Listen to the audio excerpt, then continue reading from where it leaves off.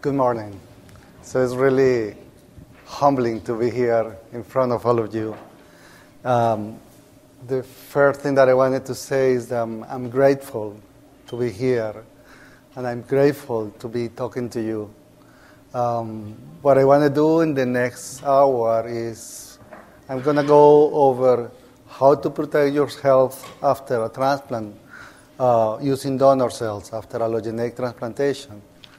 But the, the talk is going to go only for 35 or 40 minutes, and from there, all that I want to hear is questions. I'm here to answer questions. So, and I'll do my best to share what I've learned over the years and what I've learned from you.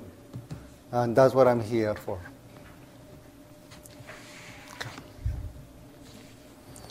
So, the name of my talk, Strive, How to Protect Your Health After a Transplant Using Donor Cells.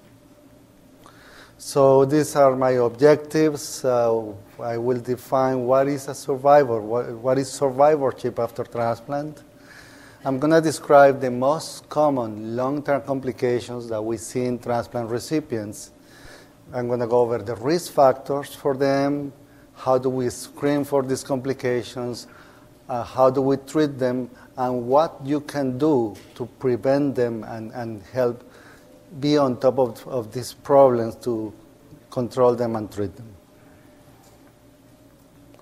When I was preparing my talk, I bumped into this history. This is Nancy King McLean history. She's the world's longest living bone marrow transplant survivor. This is a woman that was transplanted from an identical twin for acute leukemia when she was 11 years old. That was in 1963. She's still alive and she has had a, a productive, normal life, which is what we all want from you. So, who is a BMT survivor? So, this is just a general definition that I found in the National Cancer Institute dictionary. One who remains alive and continues to function during and after overcoming a serious hardship or life threatening disease, like you all did. In cancer, a person is considered to be a survivor from the time of diagnosis until the end of life. For us, it's from the time of having a bone marrow transplant until the end of life. That's the time of being a survivor. So, a survivor is a person that after going through disease and then going through a transplant adjusts to a new normal. There are many, many physical and emotional changes that will happen due to the treatment, due to the disease, due to the transplant itself, and the person will be a new one, like was uh, described in the previous talk. So there will be many changes, and there will be a new normal that we that the patient will have to adapt and grow from there. So the definition of survival includes anyone else that was surrounding the patient and was impacted by the transplant experience. So it will include the caregivers, the family members, even the close friends, or any person that was in close relationship with the patient during this experience.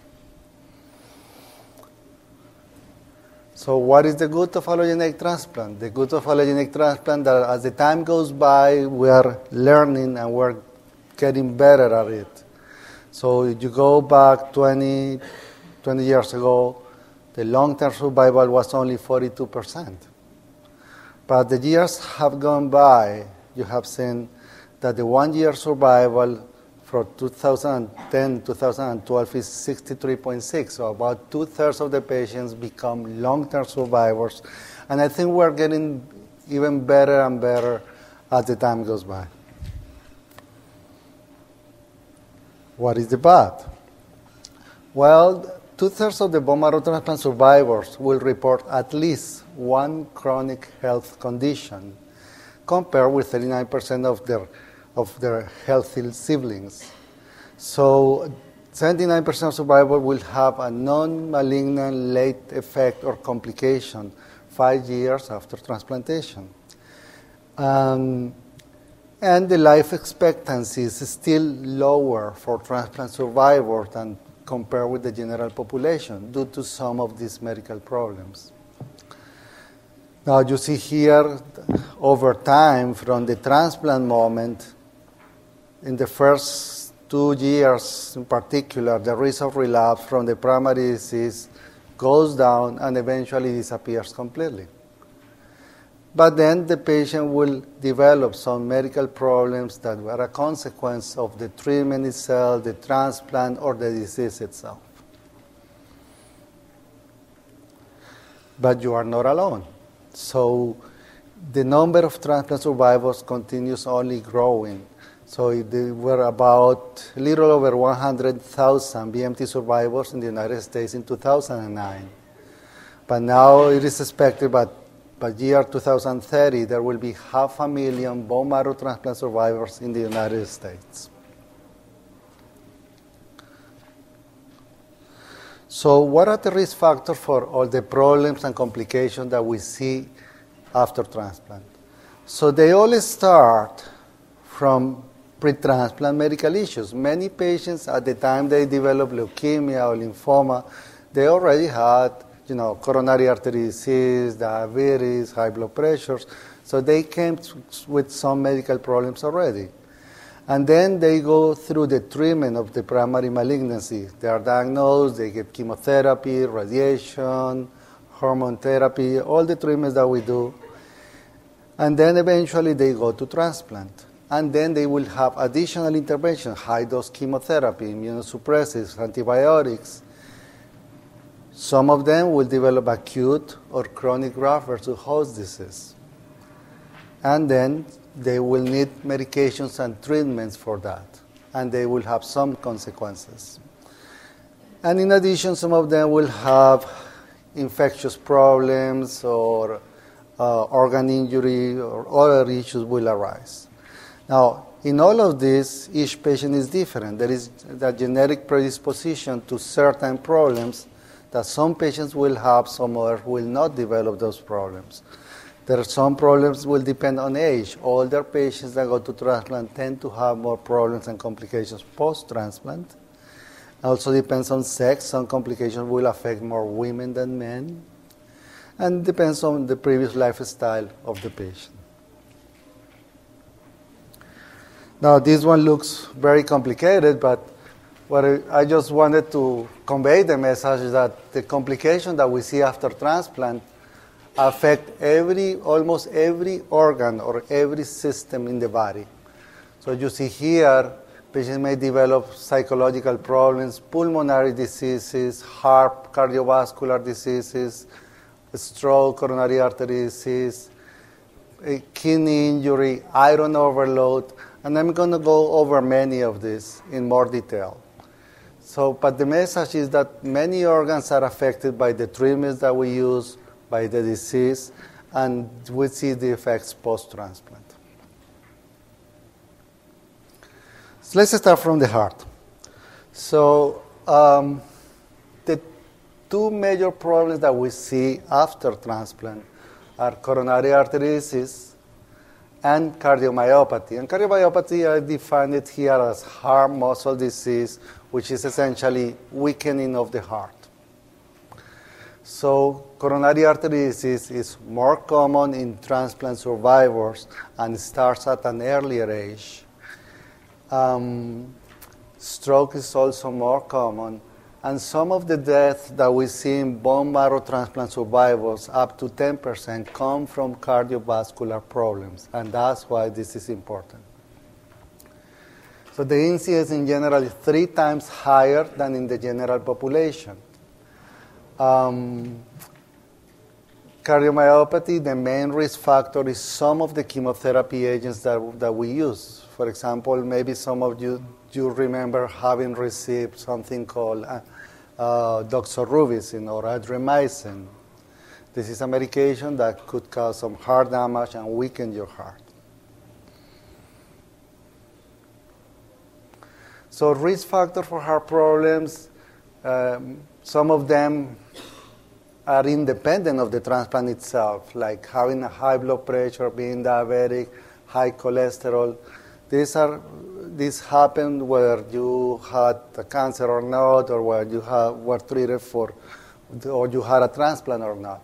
But some other will come from the transplant process itself, like uh, if you got total body radiation as part of your transplant, or if you got chest radiation during the treatment of your malignancy. Sometimes we do that in lymphoma.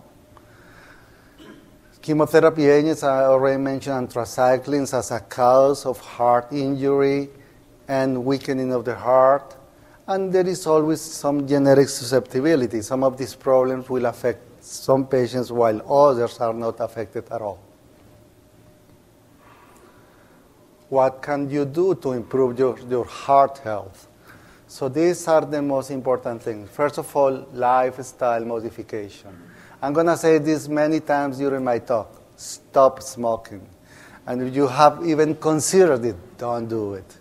It's going to hurt you. So it's just, I will keep saying that. So low fat diet, maintaining a healthy weight, regular exercise. This is critical. Maintain a good cardiopulmonary function will represent many more years of life. Um, diabetes testing, so that will primary doctor, your primary doctor will do that. Fasting lipid testing that should start probably a little bit earlier than general patients. And sometimes the doctor will want to, will want to do imaging of your heart, like echocardiogram, electrocardiogram, if the doctor is suspecting that the, doc, the heart is already weak or has problems. Now let's talk. About, let's change here. Let's talk about your lungs. So, in, when we talk about the lungs, we essentially have two types of problems. We have non non-infectious complications, and we have infections. That's, those are the main problems within the lung. So the most important one that I want to mention is bronchiolitis obliterans. This is a word that literally means um, narrowing of the bronchi, narrowing of the branches of your bronchi. This is a classical manifestation of chronic graft-versus-host disease. About one on every six patients with chronic graft-versus-host disease will develop this serious problem. And how do we know that is happening? Well, a patient will say that he's feeling short of breath, that it's getting harder to go upstairs or walk for 15 minutes. And then we will screen patients with pulmonary function tests. Many of you have had pulmonary function tests at different time points after transplant. And that's the way we monitor this. And in cases that we suspect it's already happening, we're going to do a CAT scan of the chest and look at images of your lungs. So we treat this with oral or inhaled steroids and powerful anti-inflammatories like Montelukast, but well, that's just the name of the medication. The other problem that we frequently see in, in, in, as a lung complication is infection, pneumonia. So pneumonia is fairly common after bone marrow transplantation. So, and the main risk factor is a compromised immune system. Every patient that goes after a bone marrow transplant will have an, a compromised immune system for a variable time, 6 to 12 months at least. And then you will be at risk of acquiring lung infection from virus, from bacteria, and very rarely from even from fungi. So the main prevention is interaction with your doctor. That your doctor will give you medications to decrease the risk of infection, like prophylactic antibiotics, Many of, many of you probably took an antiviral, an antimicrobial, and an antifungal for several months after transplant. Vaccination, I'm going to go over that in more detail down the road, but vaccination is always important to prevent infection. And, well, I'm not going to go over the treatment. I wanted to mention this one antibody replacement. We all have antibodies in the blood there are proteins that we all carry to fight infection.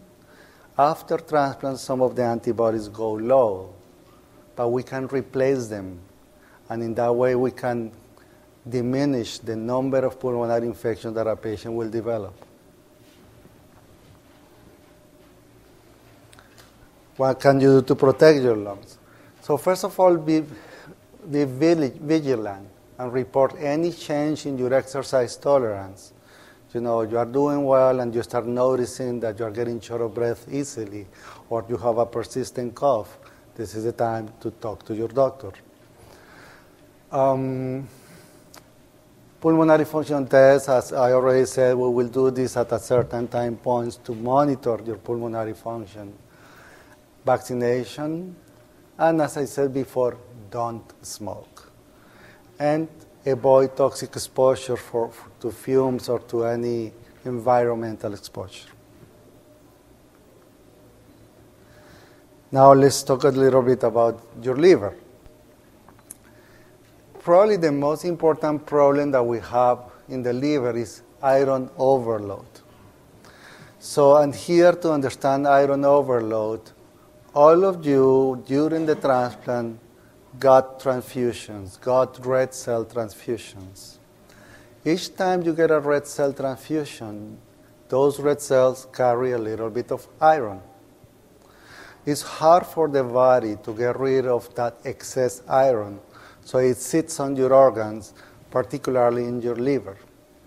The more transfusions you get, the more iron you will deposit in your liver and it comes to a point that it will cause progressive inflammation and damage on your liver. So and that's the reason why we, we are very careful about this.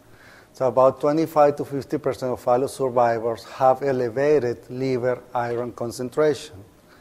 In particular, those of you who had a transplant for acute leukemia, because even before the transplant, you already had many, many red cell transfusions. So how do we monitor this? We're going to follow the ferritin. This is a, a, a, blood test. Each time your doctor sees you in clinic, he's going to, not every time, but periodically, he will check your ferritin level. And in that way, we will know how high are your iron deposits, and we can intervene to, go, to make them go down. So how do we treat it? We remove iron. There are essentially two ways to do it. Iron chelation, these are medications that we give. It, it used to be only IV or subcutaneous, but now they come as pills, so it's easier to do, it's easier to take. And these pills, they will grab the iron in your liver and it will go through your urine, and in that way, slowly but surely, it will go down. And in patients that are fully recovered with normal hemoglobin, we can do phlebotomies. Phlebotomies is take one unit of blood from the patient once a month. And that is actually the most efficient and most physiologic way of doing it, the, the one that works best. Other potential liver problems, not infrequently we have to deal with hepatitis viruses. So some patients, a small number of patients carry hepatitis B or hepatitis C at the time we see them for transplant. They already have the viruses. Or sometimes they get a transplant from a bone marrow donor who carries the virus and then they will acquire the virus. So we need to know those things in advance, and then we will have to use antiviral throughout the transplant to protect the patient because when your immune system is weak is when these viruses wake up and grow and cause trouble. Chronic graft-versus-host disease affects the liver, but I'm not going to go over chronic graft-versus-host disease because there are there is one or two sessions specifically on that. I'll be happy to answer questions, but I'm not going to go in detail on that. Cirrhosis is the extreme of liver damage.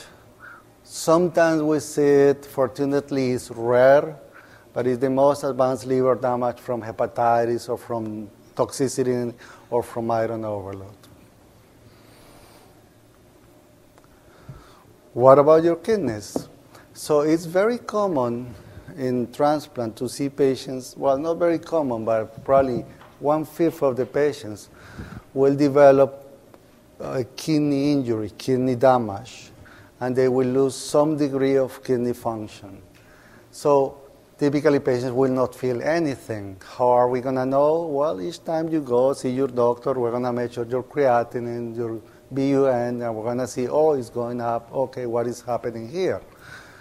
So, and some of the medication that we use, the immunosuppressives, pretty much all of you receive tacrolimus or uh, cyclosporin to protect you from graft-versus-host disease.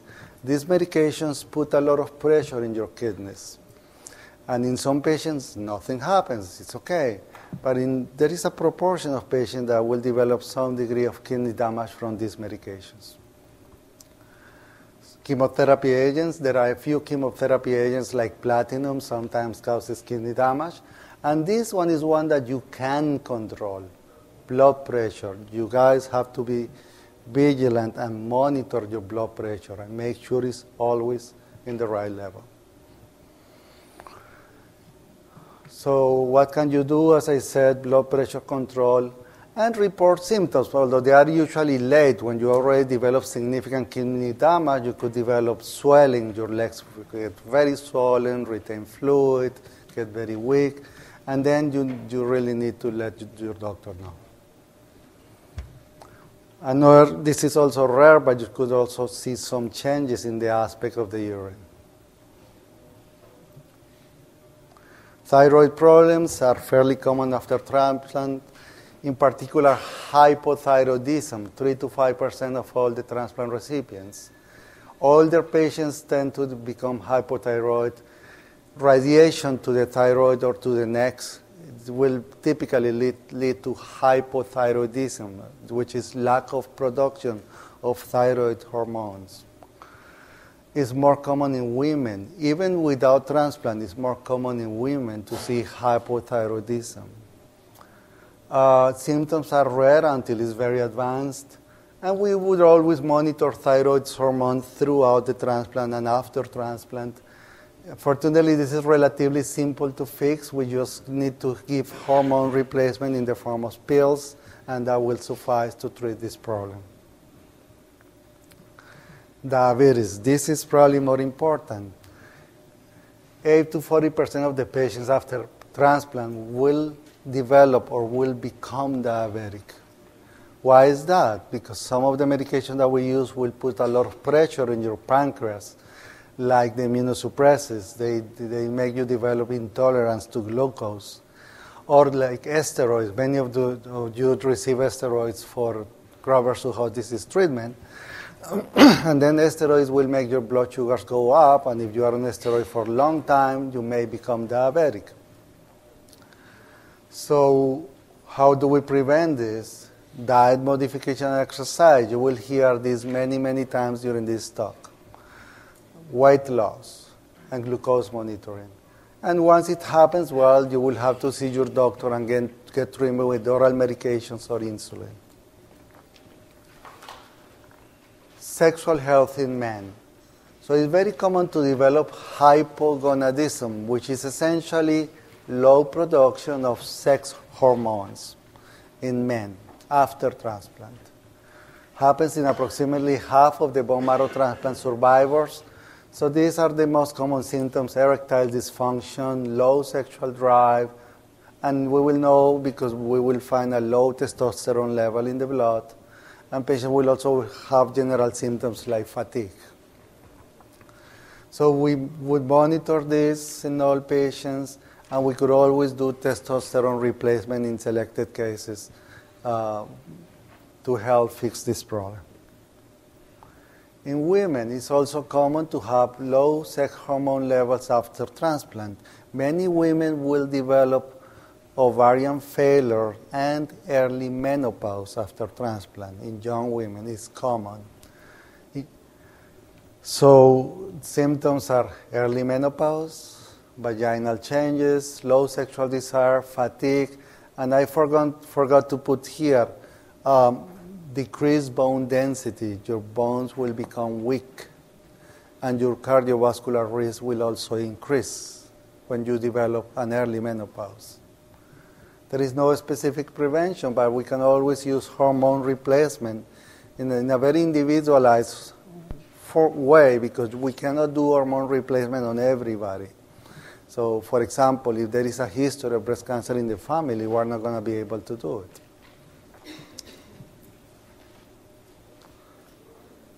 Fertility.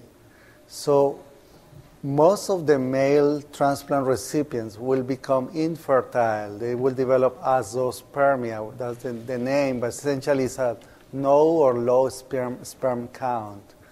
70% of bone marrow transplant survivors.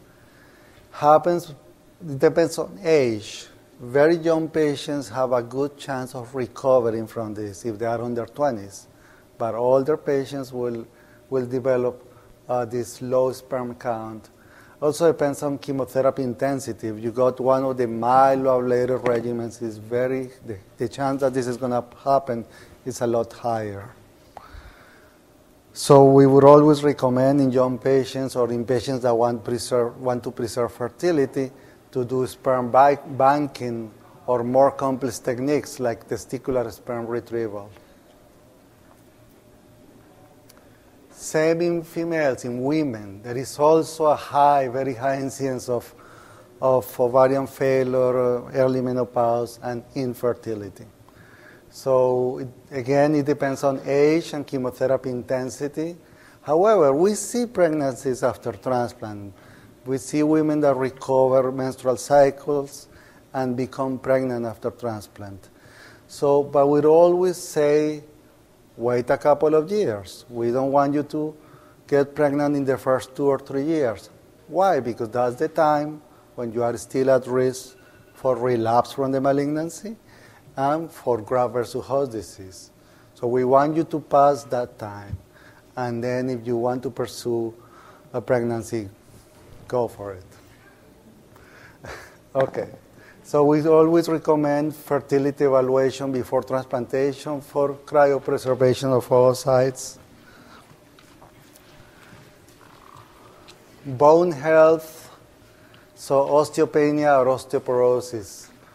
So many of you had these bone density tests where we look at how hard your bones are. So if, if they are weaker, we will call it osteopenia. But if they are very weak, the most severe osteopenia, we're going to call it osteoporosis, which essentially means your bones, are, your bones become brittle and they are at high risk for fractures. So this is very important. And so it depends on the treatments that you got. In women, the early menopause will be associated with this. And this is one of the strongest risk factors. This extended, prolonged use of steroids like prednisone will make your bones very weak. Prevention with good calcium and vitamin D intake. This is something that all of you can do and should do. Weight bearing exercise, mobility exercise is critical to preserve your bone health. And well, we will always uh, periodic, periodically we are going to measure your bone density. And there are several treatments to make the, the bones strong again, like some of that I mentioned here, by bisphosphonates, calcitonin, hormone replacement in women. Avascular necrosis, this is more in younger patients. A few of you probably develop this complication. Avascular necrosis is when a segment of your bone doesn't have blood flow and dies. So the, it becomes necrotic because of lack of blood flow. Typically affects the hips more than the knees and occasionally the ankles and shoulders. The main risk factor is steroid use. Patients who have been high doses of steroids for extended periods of time. And this is up to your doctor to diminish as much as possible your exposure to drugs like prednisone. Now, the treatment sometimes is conservative, physical therapy, uh, retraining, but many patients eventually will need a hip replacement or a knee replacement for this type of problems. Myopathy, so this is weak muscles. So the main risk factor for myopathy are Steroids again, steroids will make your muscles very weak. and lack of physical activity. When you are in a transplant unit, you don't move much, you don't walk much. By the time you are out of the hospital, you already have significant muscle atrophy. And then if you don't move, if you don't exercise, it will get worse. So here is critical to limit the use of steroids and to exercise.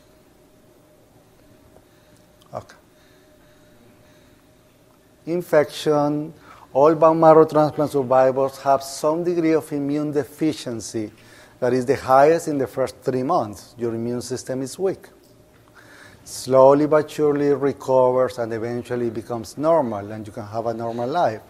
But still, during those months or even a few years, you are at high risk for opportunistic infections, viral infections, bacterial infections. So this, the immunosuppressive medications that you take will weaken your immune system. And if you develop chronic graft-versus-host disease, you are going to be at risk for infection. So we will always give antimicrobials while in immunosuppression to decrease the risk of infection and we would always monitor your immune function, measuring your, your immune cells in the blood, and we will know how you are doing. Vaccination. I wanted this, this is very, very important. So if you remember, once you go to transplant, get high dose chemotherapy, you will lose all the immunity that you had to all those vaccines that you got in childhood you, you have to be revaccinated. Otherwise, you're going to be at risk for all of this. And not only that, you can transmit it to other people. So there is, this is a double problem here. It's personal and it's also social because you could become a transmitter of the disease. So we would always revaccinate you to, for polio, diphtheria, tetanus. I miss putting here pertussis, hepatitis B, Haemophilus influenza, pneumococcal pneumonia. This is MMR. Nowadays, you have heard about the measles outbreaks going all over the country due to lack of vaccination. Varicella zoster. And always remember to get, get your yearly flu vaccine.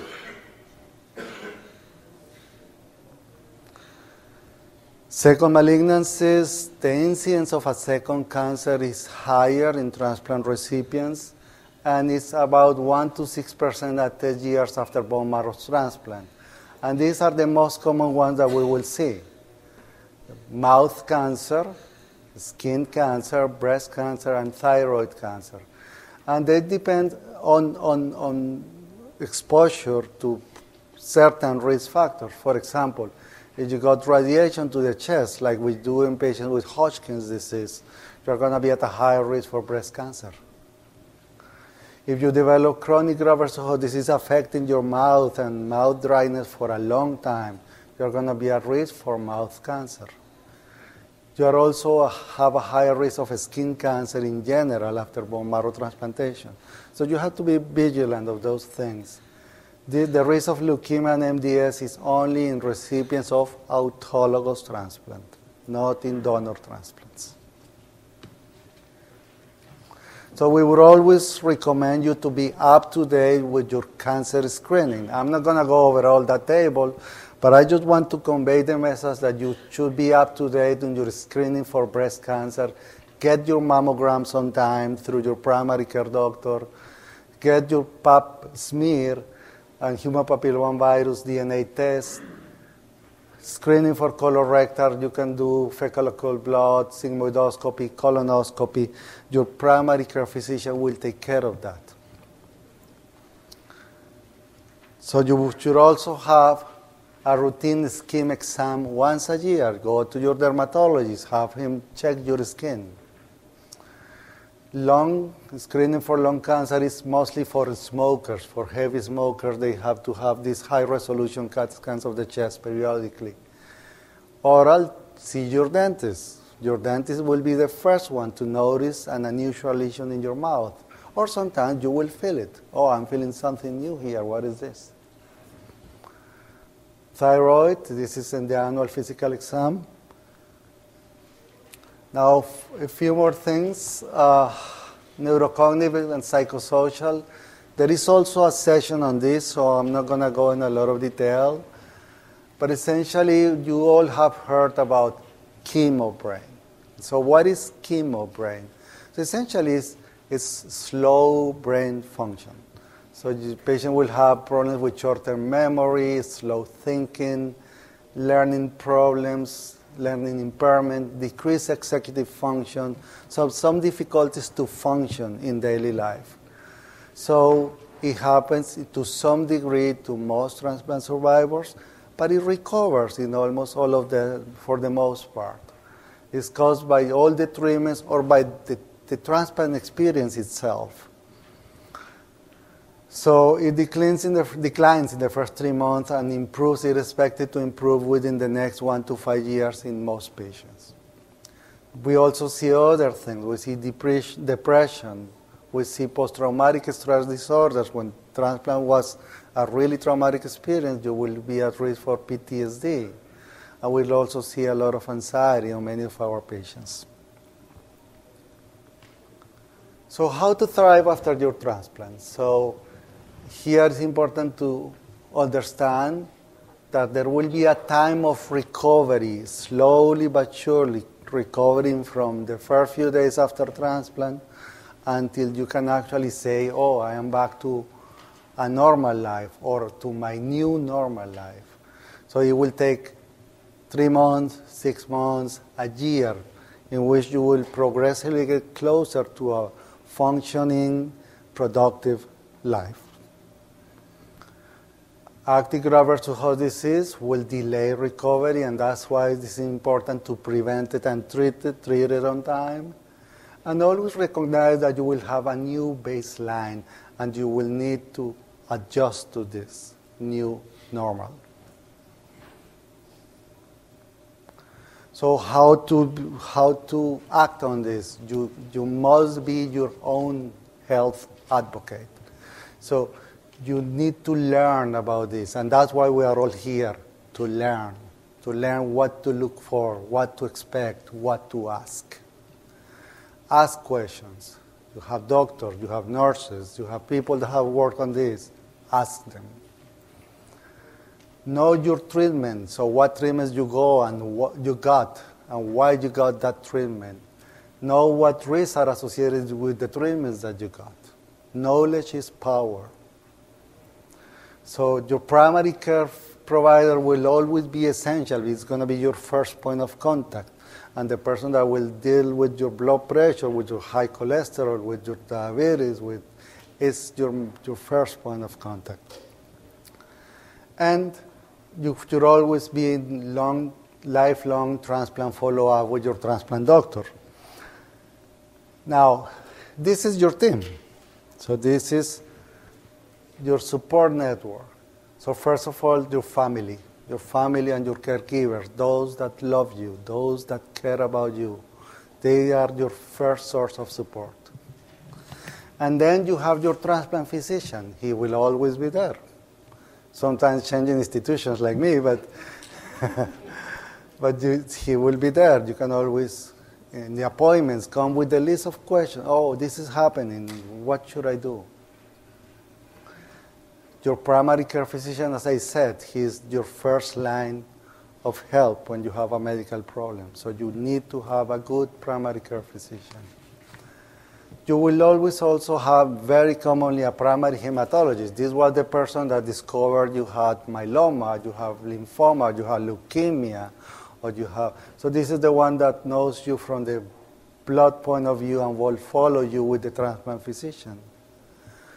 And finally, there will be other specialists that will be involved. For example, you develop uh, avascular necrosis of the hip, then you will need to see an orthopedic surgeon to have it fixed. So, this is your care network.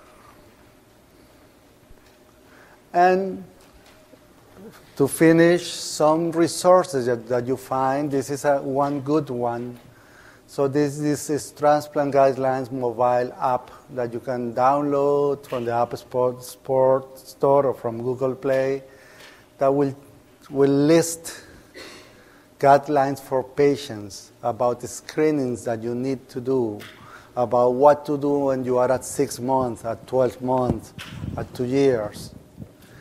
Uh, and it's different for men or women. So this is a good resource for you. And these are some other sources of knowledge, resources here. And I think I'm going to finish there. I hope I wasn't too long. And from now is questions. Thank Doctor, you very much. Thank you very much. Folks, let's hear for Doctor. That was an excellent, all encompassing encompassing presentation. So we're going to take questions now. Uh, Steve's got a microphone back there. I've got one here. Please raise your hands. We'll try to get to everybody. As I said, try to keep it focused. And I'm sure Doctor will have a few minutes afterwards uh, if you have something specifically to talk about. We're going to start right here. Thank you. That, that was excellent, Dr. Ayala. Thank you Thank you. very much for volunteering your time to come here today and speak with us. We appreciate it. So, my question has to do with pulmonary graft versus host disease. I'm a long term survivor over 20 years, and I still suffer from uh, chronic GVHD of my lungs and throat and nasal passages. I take a, uh, an immunosuppressant to control it called mycophenolate. I'm sure you're familiar with it. My regular transplant doctor has been encouraging me to try to get off of it, so I try to taper and I try to taper and and I get a cold and it, you know I have an immune system response and, it, and I end up right back where I started. So uh, my question has to do with I'm skating the edge of the the GVHD. In other words, it's present right now. I've got a little cough. I can feel it. I know it's in my lungs, and it's impacting me. I cannot fully fully inflate my lungs, or I'll cough. So, and I'm so I'm taking less. Uh, you know, I'm taking less than a full dose of the immunosuppressant.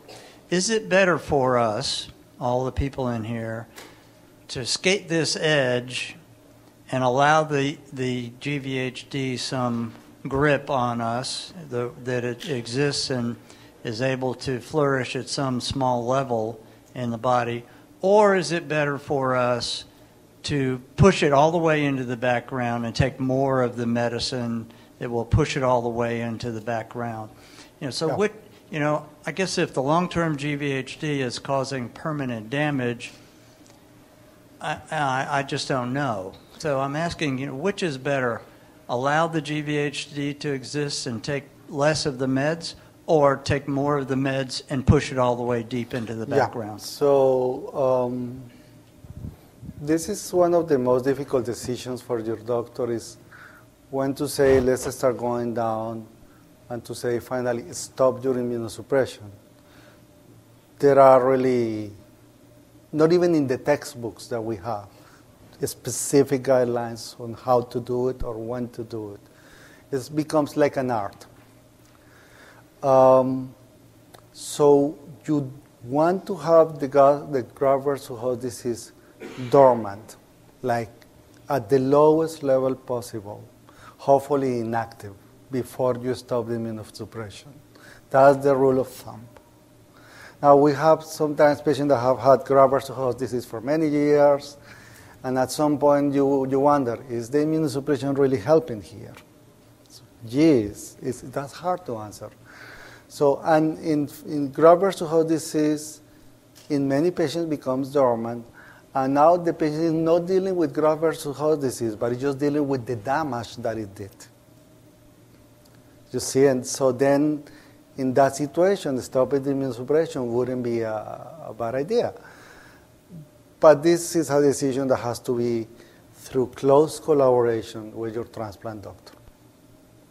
Okay? Thank you. Okay. Got one back there. Again, thank you very much for being here today. It definitely means a great deal to everyone, including myself. Um, my question is in regards to stem cell transplant. Um, my sister was 100% match, and uh, I'm thankful for that. The question I have is there any programs available um, potentially to be able to uh, to use her stem cells and to store them for potential future use if needed? Yes, there are several programs, but you have to be very careful about this. Um, many of you probably have heard about banking um, cord blood cells. And there are many public cord blood banks. So sometimes we use cord blood, cord blood as the source of cells for bone marrow transplantation. So, but there are companies that are for profit that will do that. They say, oh, the, uh, the mother that is giving the childbirth, and they tell the mothers, oh, save, save your, your cord blood for your son in case he needs it in the future. And then you will pay a lot of money to save the, the cord blood cells for years. But in reality, the chance that this person, this baby, is going to use those cord blood cells is close, is extremely, extremely low. They will be sleeping in a freezer for life. While if you put them in a public cord blood bank, they will be available for patients everywhere to use when they need them. So that's why it's very important. Some of these companies are for profit and they will offer those services. But if you um, do it in one of, you donate them to a cord blood bank, they will help patients. Now, that's for cord blood cells. Adult cells, we rarely, if ever, would save a lot of cells from a donor for future. One exception is, and this is not your case, I think, is in patients with multiple myeloma. Sometimes in multiple myeloma, we save autologous stem cells for a second transplant. But in donor transplants, we don't do that.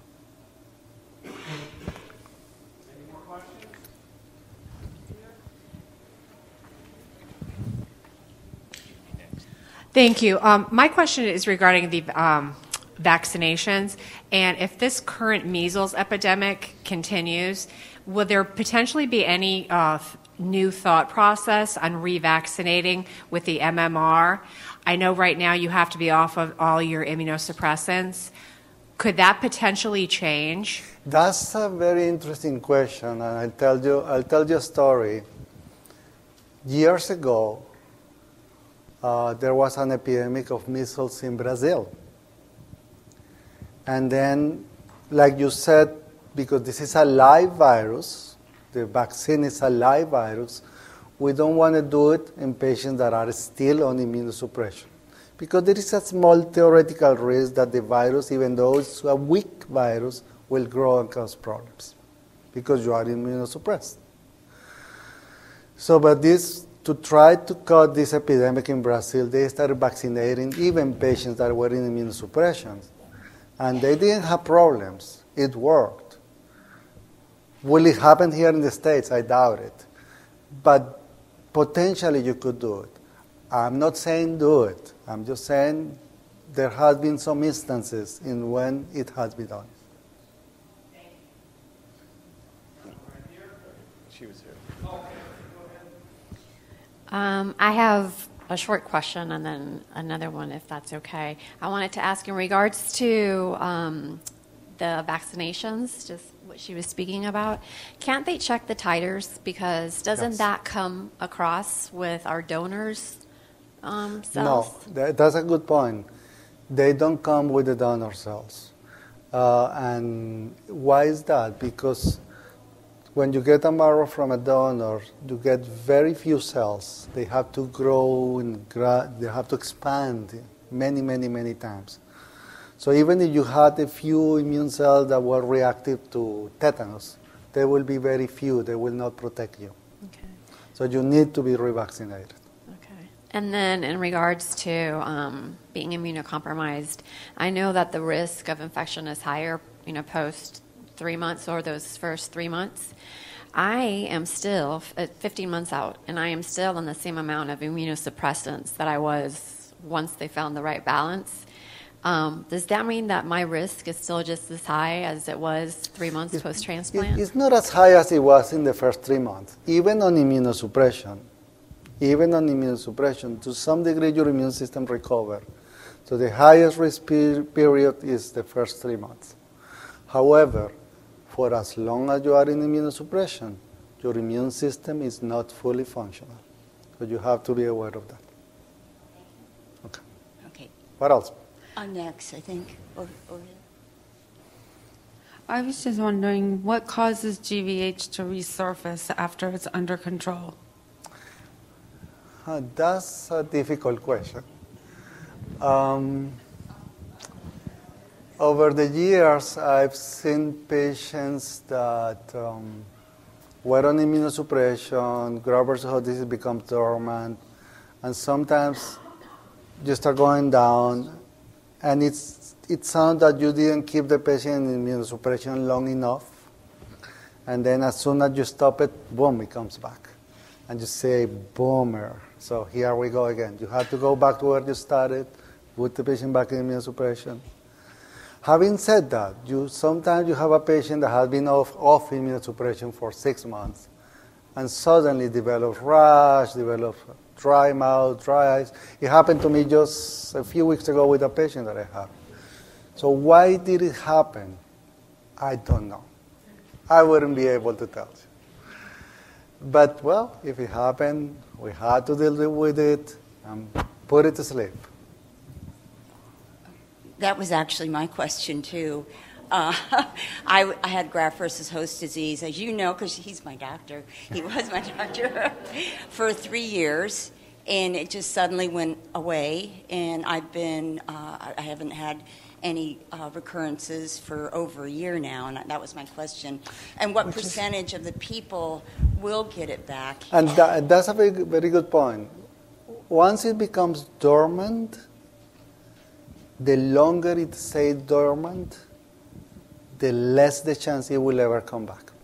So if you have been two or three years without it, it would be extremely rare at this point to have it back. Sort of like the cancer itself. Yeah. yeah. Okay, Yes. thank you. Okay. One last question.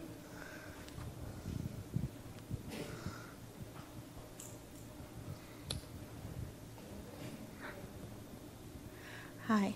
Hi. So she has a question. Uh, do you speak Spanish? Yes, I do. Uh, I'm going to, to do the question in English, but if you have more questions, you can talk to her maybe because she doesn't speak English. I guess So- I'm going to answer both ways. yeah, sure. Um, so she wants to know um, her daughter has been receiving tacrolimus, an immunosuppressor, for more than three years, but the level in the blood is really low now. So they are trying to figure it out. It is okay to remove the treatment at all because maybe it's not working now. So I don't know. What do you think about that? So really, again, the time to stop. All patients get tacrolimus or sirolimus or cyclosporin. The time to stop it, definitely, is a clinical decision from the transplant doctor. And it depends on many things. It depends. You are doing well. You are haven't have any problems. You didn't have acute graft versus host disease, the early form. Then your doctor would consider stopping it somewhere around six months after transplant. There is also a lot of personal variation. Some doctors prefer to keep patients longer on immunosuppression than others. Okay. But in general, you always want as a goal to eventually stop immunosuppression on everybody. Okay. So, y para decirlo en español, es difícil saber cuál es el momento de parar la inmunosupresión. Es una decisión del doctor de trasplante que tú tengas. Si tú no has desarrollado enfermedad de contra huésped aguda, y si tú no has tenido ningún problema hasta ahora, eso le da al médico uh, la posibilidad de parar la inmunosupresión más temprano. Pero si tú ya has tenido enfermedad de contra huésped, de- de- te va a tocar esperar. Doctor, thank you very, very much. Let's hear it. Thank you.